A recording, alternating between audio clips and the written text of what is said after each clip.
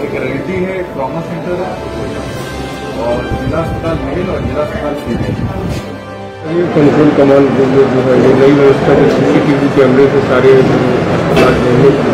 क्या है? देखिए बेसिकली माननीय मुख्यमंत्री जी की वीडियो कॉन्फ्रेंसिंग हुई थी जिसमें उनके द्वारा आदेश दिए गए थे कि सभी कोविड अस्पतालों में सीसीटीवी कैमरा लगाया जाए और एवं उन्हें कंट्रोल रूम से उसको जोड़ा जाए। तो इसी के तर्ज पे हम लोग जनपद जौनपुर में हमारे जितने कोविड अस्पताल हैं तो सरकारी हम लोग ने शुरुआत जो है सरकारी कोविड अस्पतालों में किया है। इसके तहत जिला मेल अस्पताल, जो कि हमारा प्रिजम्पटिव कोविड, हमारा अस्पताल है। दूसरा हमारा जो फीमेल अस्पताल है एमसीएच विंग जो हमारा एक्चुअल में कोविड हंड्रेड बेडेड हॉस्पिटल है। उसके साथ साथ ट्रामा सेंटर और रेटी इन चारों जगह जो है सीसीटीवी कैमरास लगा दिए गए हैं और वेरियस लोकेशंस पे। और इनकी जो है, हम लोग डायरेक्ट लाइव कवरेज जो है कंट्रोल रूम के माध्यम से हम लोग वॉच करते रहते हैं। इसमें दो तीन इश्यूज़ हैं। एक तो हमारे डॉक्टर्स का भ्रमण डॉक्टर्स और नर्सेज के भ्रमण को लेके समस्या आ रही थी कि इनके द्वारा भ्रमण किया जा रहा है कि नहीं। तो अब इससे लाइव मॉनिटरिंग से इस चीज़ पे एक समीक्षा की जा सकती है। सेकेंड पॉइंट है अटेंडेंस के लिए व्यवस्था। वीसी में ये भी कहा गया, कहा गया था कि अटेंडेंस के लिए प्रॉपर व्यवस्था की जाए। तो हम लोगों ने पानी की व्यवस्था है शौचालय की व्यवस्था है खान पान की व्यवस्था है। ये सब सुनिश्चित कराई है तो एटलीस्ट इससे जो है हमारा कंट्रोल रूम के माध्यम से इसकी भी मॉनिटरिंग हो जाती है।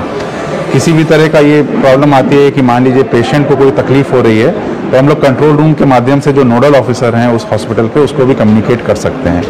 तो ये सब जो है बेसिकली ट्रांसपेरेंसी और बेटर मैनेज हॉस्पिटल मैनेजमेंट के लिए किया जा रहा है। पहले सर क्या क्या दिक्कतें आती थी जब सीसीटीवी कैमरे नहीं लगे थे?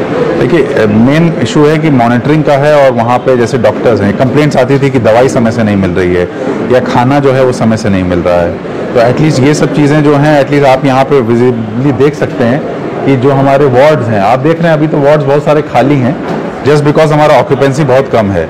अगर हम जिला महिला अस्पताल देखें तो महिला अस्पताल में अभी 28 बेड हैं। टोटल 102 बेड में से 28 ही बेड भरे हुए हैं। तो ऑक्यूपेंसी अभी है नहीं यहाँ पे। बट ये है कि जब ऑक्यूपेंसी रहती है तो फिर आपको दिख सकता है कि उनको क्या खाना दिया जा रहा है या कितने वक्त दिया जा रहा है दवाइयाँ दी जा रही हैं नर्सेज का भ्रमण हो रहा है कि नहीं हो रहा है। तो ये सब चीज़ें आप फिजिकली देख सकते हैं इसके माध्यम से। सर एक व्यवस्था और आप बता रहे थे कि वेबसाइट के थ्रू जो है अस्पतालों में कितनी जगह है और क्या है? वो हम लोगों ने चालू कर दिया है। बेसिकली हम लोग की व्यवस्था के साथ साथ ये उत्तर प्रदेश शासन की व्यवस्था है। उत्तर प्रदेश शासन का एक पोर्टल है जिसमें डीजी हेल्थ सर्विसेज़ का है ये पोर्टल उसमें कोई भी व्यक्ति जाके देख सकता है कि जनपद जौनपुर में कितने बेड भरे हुए हैं, कितने बेड खाली हैं, किस अस्पताल में कितने बेड हैं, पूरी जानकारी ले सकता है। हमारे 12 प्राइवेट अस्पताल हैं, चार सरकारी अस्पताल जो अभी पोर्टल पे फीडेड हैं तो टोटल 16 अस्पताल फीडेड हैं इस वक्त। तो 16 अस्पताल में कहाँ कहाँ बेड ऑक्यूपेंसी है कहाँ कहाँ वैकेंसी है, ये सब उसमें शो करेगा और इसको हम लोग हर दिन जो है दो बार अपडेट करते हैं, प्रातः 10 बजे।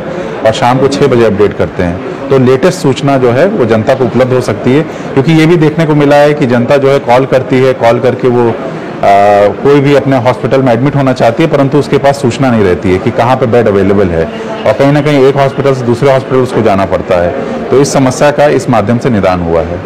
तेरह तारीख तक जब जौनपुर में शहरी इलाकों में शाहगंज कंटेनमेंट जोन लॉकडाउन चल रहा है। तो ऐसे में अभी क्या कंटेनमेंट जोन और बनने की उम्मीद है केसेस का रहा या क्या है? देखिए अगर आप देखेंगे हमारे केसेस कम हुए हैं। अगर आप पिछले पाँच छः दिन में देखेंगे तो हमारे केसेस जो हैं अप्रॉक्सीमेटली 150 टू 200 के बीच में केसेस आ रहे हैं जो कि पहले 250 300 साढ़े तीन सौ केसेस आ रहे थे। तो लॉकडाउन और कंटेनमेंट जोन को प्रभावी रूप से जो हम लोग ने लागू किया है, उससे केसेस की में कमी आई है। और आगे, क्योंकि आपको पता था कि अभी कल ईद का त्यौहार था तो त्यौहार के मद्देनज़र रखते हुए भी हम लोग को इसमें लोगों के द्वारा जो है वो कुछ कुछ मतलब व्यवसाय जो है उसमें किया गया है तो उसमें भी थोड़ी छूट देने की आवश्यकता थी। परंतु आगे के समय में हम लोग सर्कमस्टांसेस को देख के ही निर्णय लेंगे। जैसी ज़रूरत पड़ेगी उस तरह का निर्णय लिया जाएगा बेसिकली अभी तत्काल तौर पर जो हमारा शासन का निर्देश है सत्रह तारीख तक हमारा जो लॉकडाउन लगा है उसी का ही पालन किया जाएगा। तो उसमें सिक्स टू इलेवन तक टाइमिंग है जिसमें वो खुला रहेगा। तो उसी को ही हम लोग मतलब इन्फोर्स करा रहे हैं।